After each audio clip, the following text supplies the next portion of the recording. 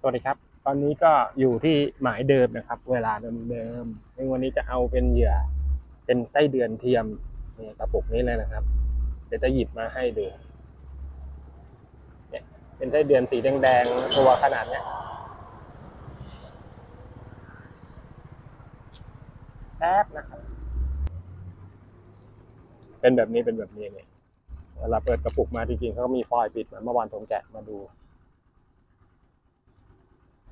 นี่เป็นแบบนี้ โอ้ยนี่นะครับ เดี๋ยวลองมาทดสอบกันดู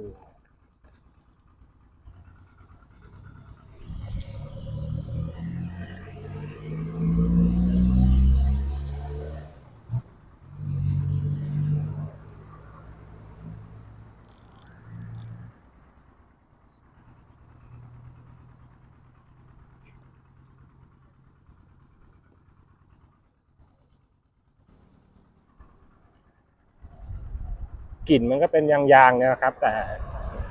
ในคุณสมบัติที่เขาเขียนเอาไว้ในในแอปชื่อดังที่เราชอบไปซื้อของกันมาเนี่ยเขาจะบอกว่ากลิ่นมันจะเรียกเรียกปลา มันมีกลิ่นของมันนะนะ ก็กลิ่นเหมือนยางอะโอเคเดี๋ยวเกี่ยวเหยียบแป๊บนะครับ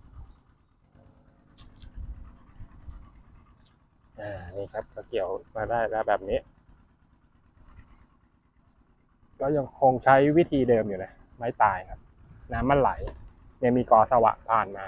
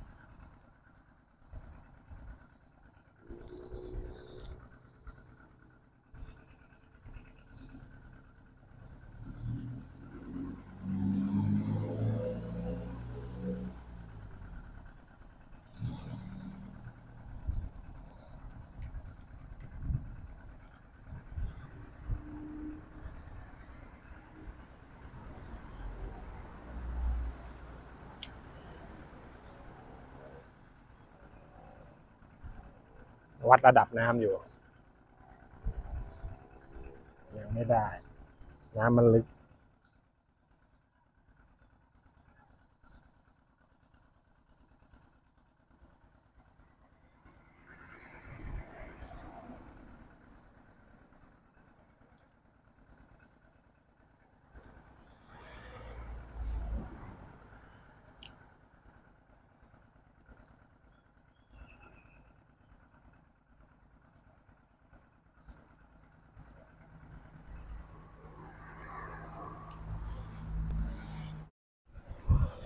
ก็ได้แล้วครับ อยู่ห่างฝั่งประมาณเมตรครึ่ง ประมาณเนี้ยนี่ครับ ก็อยู่ที่หมายเดิมและตรงที่ผมปล่อยไว้บ่อยๆ วันนี้ก็เป็นเหยื่อไส้เดือนเทียมนะครับเป็นไส้เดือนเทียม เป็นยางอะ เป็นเหยื่อยางเดี๋ยวจะให้ดู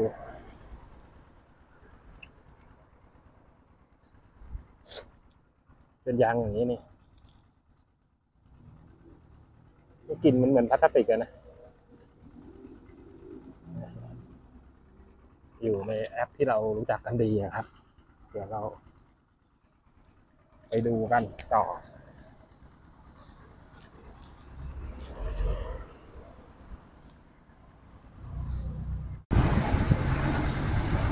นะครับแค่ประมาณตรงนี้เองใกล้ๆฮะเมตรครึ่งก็อย่างที่บอกนะครับ มันเป็นหมายริมคลองธรรมชาตินะครับ น้ำมันไหลตลอดก็ต้องเล่นแบบนี้ไปก่อน จะเฝ้าจนกว่าจะเจอเป้าหมายที่ต้องการนะครับ นี่ก็ 11นาฬิกา32นาทีแล้วนะครับจะเที่ยงละก็ตรงนั้นนะมีฟองผุดขึ้นมาเยอะเลย เพราะว่ามาอ่อยเอาไว้หลายหลายรอบแล้วนะฮะแล้วก็มีการมาต่อตะเหยื่อไม่หลุดแน่นอนเพราะมันเป็นเหยื่อยาง เป็นไส้เดือนเทียมตัวแดงๆอย่างที่ผมบอกเอาไว้ตอนต้นคลิปนะครับ ก็คือตัวนี้ ในหน้าแอปมันจะมีอยู่สองแบบนะ น่าจะเป็นขนาดที่ต่างกันนะอย่างตัวนี้เป็นฉลากสีทองทองๆแบบนี้ใช่ไหมครับแล้วก็อีกตัวหนึ่งมันก็จะเป็นอีกอีกฉลากอีกสีหนึ่งแต่ตัวนี้มันจะแค่นี้กลิ่นก็ไม่อยากดมอะกลิ่นเหมือนยางเนี่ยแหละแรงพอสมควร เห็นได้หลายช่องเขาก็ทำกันมาแล้ววันนี้ผมก็เลยนั่งรอต่อไปกินน้ำได้กระติกมาใหม่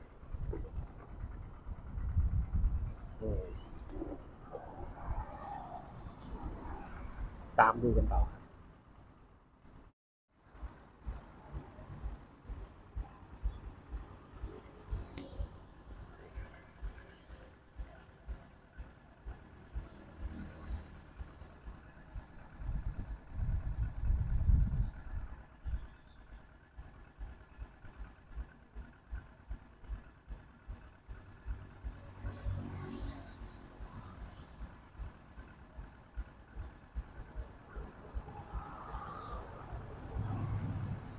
ดึงไป ดึงไป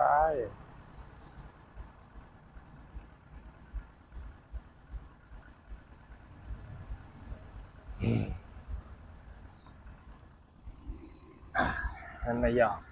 รอก่อน ก็หลังจากที่นั่งจ้องทุนมาสักพักนะครับ ผลงานเดี๋ยวค่อยว่ากันทีหลัง ราะเป้าหมายของผมคือปลาตะเพียนปลาตะเพียนไม่มีฮะมันมีมันมีแต่ว่าเราเอามันขึ้นมาไม่ได้ จากคลิปก่อนหน้าที่ตัดต่อมาแล้วก็คือเรา มันมีปลาดึงเข้าไป แต่นั่นมันคือปลานินฮะ สิ่งที่ผมต้องการคือปลาตะเพียนที่มันอยู่ในหมายข้างๆนี้นี่ฮะนะครับ ค่อยว่ากัน